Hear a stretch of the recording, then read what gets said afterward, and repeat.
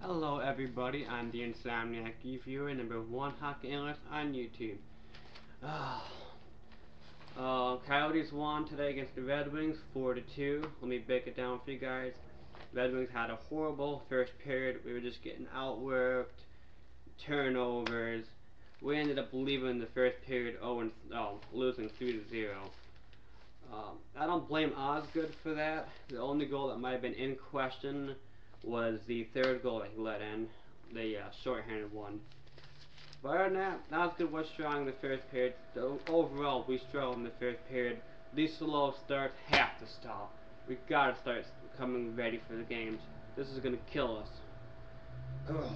That's okay. We did bounce back, and let me explain why. In the second period, Franzen scored. That was a very nice goal by Franzen. And in the third, Holmstrom scored. Woohoo! Alec Holmstrom goal. Holmstrom scored a nice, dirty, garbage goal, I guess you can call it. Holmstrom scored a real working goal. He followed the puck, and he made sure it went in. That's a real goal right there, everybody. Uh, and Datsyuk also got his 600 point tonight, so it wasn't all bad. Minus we did lose. Uh, it was 3 to 2 up until the end. A turnover costed us. We did press hard, but the turnover at the end allowed Coyotes to score the empty netter and kill it for us. And that's pretty much the game. This is going to be a shorter video, everybody. I'm not too pleased with it. Although Osgood started off letting in maybe one bad goal. Osgood finished with 32 saves out of 35 shots, so ready to kick some ass, That Osgood. Um, nice to see you get a good game in. Overall, wings were lackluster at times. The second period we were better, and the third period we were better. But these first period where we're dead need to stop. We need to actually go out there, and we need to show why we're the best team. We need to go out there and play more than 40 minutes.